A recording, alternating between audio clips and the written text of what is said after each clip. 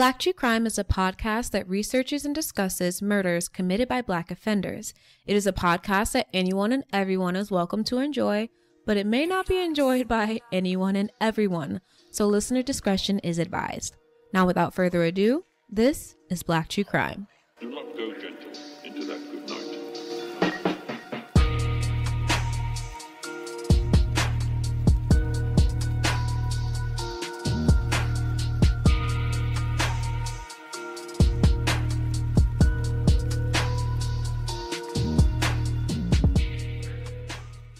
Hello, everyone. Hi, everybody. Welcome. I'm Kayla, And I'm Kristen. and welcome to Black True Crime. Uh, if this is your first time here at the show, welcome and hello. Hi.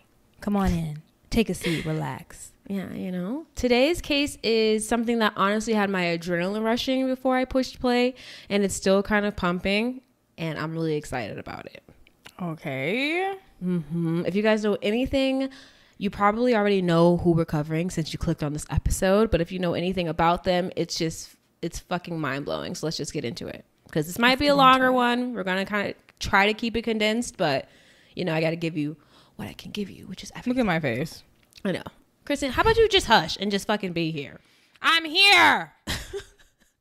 Okay. So are you ready to get started, sister? Yes. Okay. Richmond, Virginia in the 70s was full of middle class families. Some were upper middle and some were lower, but either way, all were affected by the evils of the time racism, the drug epidemic, and a group of brothers who violently robbed and killed their way through the city. Join us as we discuss three sons that only a mother could love the Briley brothers. Ooh, Kayla. Okay, guys, here we go. Linwood Earl Briley was born in 1954 and he was the oldest. He was nice and extremely intelligent. His own dad said he thinks he was actually a genius. So he was definitely the thinker out of the two that we see right now. And Linwood is the one on the left. Girl, I wouldn't have guessed that. what?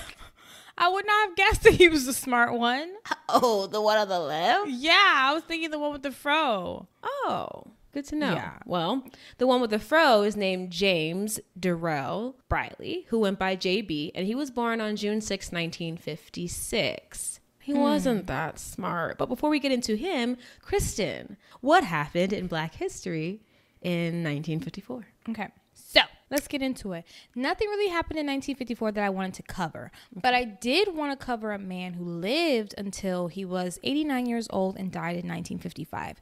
So that means he was born in 1866. Hmm. This man's name is Matthew Henson.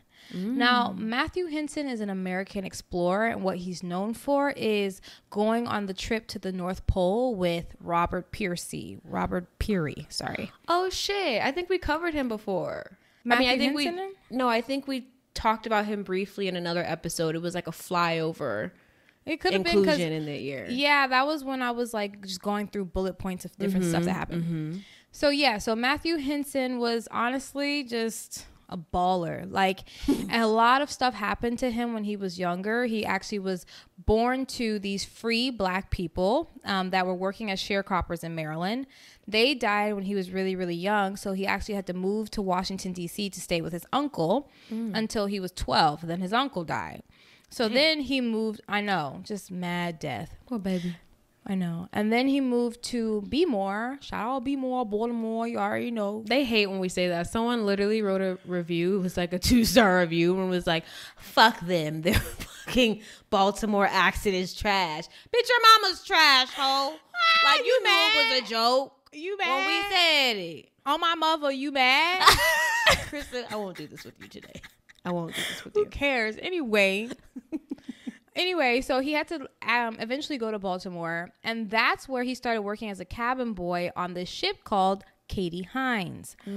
A ton of stuff happened on that ship. He basically grew into kind of a young man. The captain of the ship taught him how to read and write.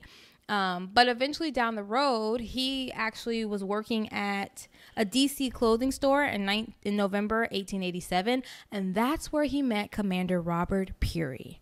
If you want to know more, tune into our TikToks. This will be coming up soon. I just posted one, Kayla. So I was about to look you in your face and say, "Bitch, stop telling people something." I just posted one.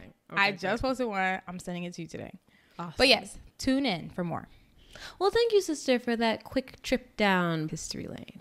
Of course. Back to these guys. So James or JB, he wasn't the smartest, like I said. He was more mouth from the people that knew him, and he was more spontaneous, basically saying, "I'm just gonna decide something in the moment and do it in the fucking moment." He gives me that vibe. Mm-hmm. Little wild tang. Little wild child. Anthony, who was the youngest, he actually was like the follower, obviously. You know, usually the youngest is, but he took that role and ran with it, okay? He looked up to his brothers like a father figure. It was just really deep. Oh, are you gonna show him? Uh, I don't have a picture of him as a like a younger person, but I will show you a picture of him later. Okay. Their parents, who were James and Bertha Briley, were hardworking class citizens, okay? I'm actually going to show you guys the house that they grew up in. And when you see the house, you're going to be like, we always assume if you come from a good place, you shouldn't be acting a fool, but that's not always the case. Hey, Mama Bertha. Kristen, that's the wrong picture. God. Wow, she looks like the old. That's like the original Madea. That's what she looks like. Mm-hmm. A lot of this case, Kristen reminds me of things that I've heard of in other cases and stuff like that. Honestly, it's crazy. TV shows have taken like aspects of this case, all of it. So we're Wow, gonna get to I was literally gonna say this house almost looks like the Family Matters house, And This it is was- a nice house. Yeah, the family was giving that. You know, their like I said, their mom and dad were working. Bertha worked at the Virginia Union University. You guys saw her as a food service manager, and she was loved by everybody in the community. Like she mm. was the one that would go out of her way to take care of everybody and just built a real rapport. And then the father, James, he worked for the city laying pipes. Kristen, what do you have to say? Come on, James. Like he looks like he's a hardworking man. That he used to mm-hmm. be attractive. He got his mm-hmm. big old woman right next to him, strong. and they're just doing the doggone thing in Richmond, Virginia. They were they were living it up with their three sons. And James was more on the quiet side, okay? So Bertha was like the, you know, type A. He was definitely type B. And he kind of spent a lot of time away from his family. Even when he wasn't working, when he would come home, he would lock himself into his room. Hmm, which is What the heck super you super doing, weird James? you know, men. That's that's the excuse for what it was back in the 60s and 70s, just men. Hmm. By the time the boys were teenagers, Bertha had left their father, leaving the sons with James. So, the reason that they divorced, obviously a lot of reasons go into it, but the main reason was that the boys really started, I guess, to misbehave at this time. And it was just causing a lot of friction between the mom and the dad. And it just, you know, disintegrated as a relationship. That sucks. Like, can you imagine the child, the children that you bore out of your own womb, are now causing your marriage to deteriorate? yeah, like they're acting so horribly that you guys can't even love each other or be together. You know, that's fucked up. That is. With Bertha leaving the house, this really changed the dynamic within the house and the dynamic within the boys. So they were already like on some weird path to doing whatever the fuck they were doing because at first they were very, very helpful. They would help people in their neighborhoods, just go out of their way to like be good people. But once their mom left, it was just like fuck all that. And they mm. started getting into more creepy things like exotic pets. So they would have tarantulas and scorpions and piranhas in their house. And they even had pythons. Okay. And obviously, in order to feed all these animals, you have to have other animals to feed them with. So they had a lot of mice on hand, and the boys loved watching the python eat the mice. I don't know what the fuck they got that ew. from, how they even got introduced to being attracted to something like that, but it happened. And It's they also fetish material. it's giving they got a hold of a snuff film somewhere because back Period. be honestly because back in the 70s snuff films were like prevalent like people were making them so I believe it. i would not be fucking surprised at all they also had regular pets too so they had a few dobermans and if you guys don't know what they are they're like dogs they're the big like black dogs hmm with the pointy ears. yeah short um, hair, stuff like that. And for entertainment, they would sometimes throw a live cat at the Dobermans and just watch them tear it apart. No. I'm not a cat person, but if I catch somebody doing some shit like this to a cat, I'm going to jail. I'm about to say animal abuse sometimes is worse than human abuse. Sometimes. Majority of the time. time. No, majority of the time. nice. Fuck humans, we ruin everything. And animals Michael are just Vick. trying to make it. Literally, they're just trying to make it out alive. Screw you, Michael Vick. You know what I Screw you. So they really, really enjoyed this horrific, like hell, Hellish. hellish, hellish action, and even started to embody the aggression and like the violence they were watching. And by the age of 16 years old, Linwood Briley would commit his first murder. Wow, that's super freaking young. Too young. I mean, never should you commit a murder, but at 16, on January 28th, 1971, Orlean Christian was doing laundry outside in her yard. And back then, some people were still like hanging their clothes up to dry. So that's what she was doing. In the same moment, Linwood was looking out of his bedroom window and happened to spot her. He then looked over at his 22 caliber rifle hanging on his wall and happened to take it down. He pointed it out the window and shot Orlean in the back of the neck. Wow. I mean, brutal. First of all, who just has a gun hanging up in their room as a 16 year old? A lot of root of the caucus children today, but also back then, probably just a lot of people in general. That's sad. I cannot believe that's such a cowardly move. He was like, hmm, let's see what Guan. And just shot her. And I'm like, she's right next door. Who- Your neighbor, Did you even think about that? dumbass. Unfortunately, she died right there in her yard, and her family assumed she just died of some type of like natural cause or heart attack because she was elderly. So they thought nothing of it and just started to plan her funeral.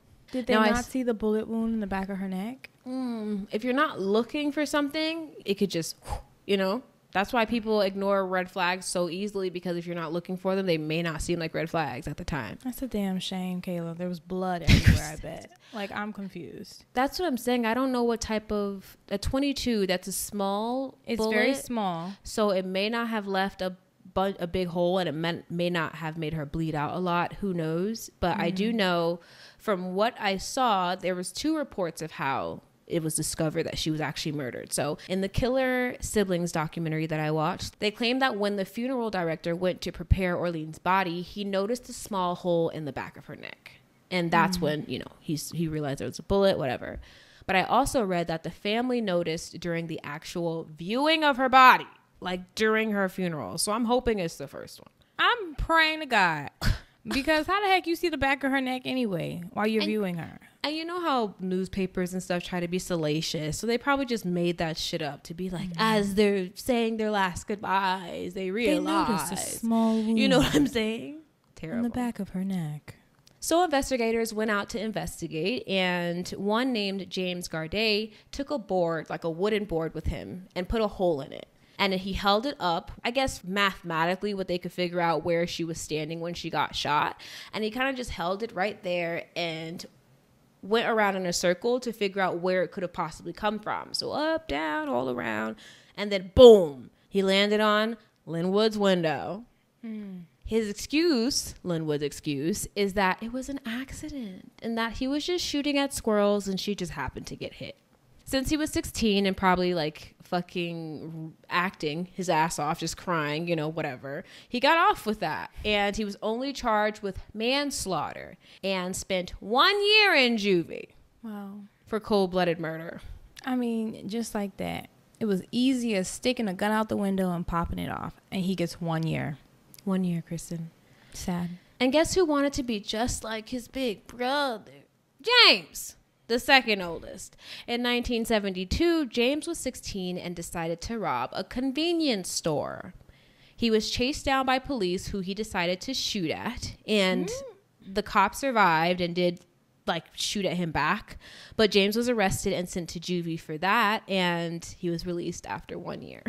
I mean, okay. I don't get it. Don't like, get if it. that's what y'all want to do. It's just not rehabilitation based. Like you lock somebody up, and then guess what he did when he came out? The Became a better thing. a better criminal. Mm-hmm. It's just terrible. I don't get the system and it hasn't changed in the sense of help. It just really hasn't overall. Yeah. In 1973, both brothers were out of juvie and ready to run it the fuck up in the streets. So now they were doing drugs, they were selling drugs, robbing people, all that shit. They were literally a little gang. Mm. They have Yes. They had a fourth member, and that member was 16 year old Duncan Meekins. So Duncan is on the far right. Um, right next to him is Anthony. Right next to him is James, and then that's Linwood on the end. I mean, these brothers had some good hair. That's the only thing I'll ever give them. Incredible hair. Incredible hair. And if my job was like literally to be able to tell them apart, I wouldn't be able to, bitch. I would fail miserably. They look like carbon copies. Except for the oldest one with these sideburns that come right to here. interesting look, my guy. So Duncan was introduced to the group by Linwood. I guess he was one of their neighbors as well, and all three bro- brothers treated him like he was blood too. Mm-hmm. Duncan admired them and thought like all the fucked up shit that they were doing was hella cool, and he wanted to be a part of it. Okay, so where's your daddy, Duncan? I was like, maybe it's giving only child and just want to be a part of something, you know? Yeah, I can So- see that. Mm-hmm. So what they do is they would drink together, get high together, and then decide who their target was going to be that night. The, their target, you know, to rob. Soon the group started bringing home TVs, jewelry, money, even guns, all under their father's roof. By the way, And where the heck is James? In the room. Krista James is in his room, bitch. Doesn't want any parts of what's going on downstairs. Okay, and we're gonna get more into that. Okay. James had completely lost control at this point. Any control that he may have had over the kids when they were younger was just fucking evaporated. And at this point, he was basically doing what they were telling him to do. N- Could never be me. I'll, about to say? I'll take us both out before I'm taking orders for my child I out of fear. I'm just thinking about our dad. He would die Kristen, before he he would would just sit there and let us run him. He'd really, he'd literally chew his own hand off. His ego would never let him let us tell him a thing. Never do it. Okay, so at this point, they completely lost any good that was in them before their mother left, and at this point, it will only get worse. I have a question. Yes, Do you think she came to visit them or do you know? I don't know if she was super active in their lives or anything like that, but from what I could see, she was not. Mm-hmm. All right, so now we're about to get into the terribleness. Gonna take a little break, sister. Let's take a little break.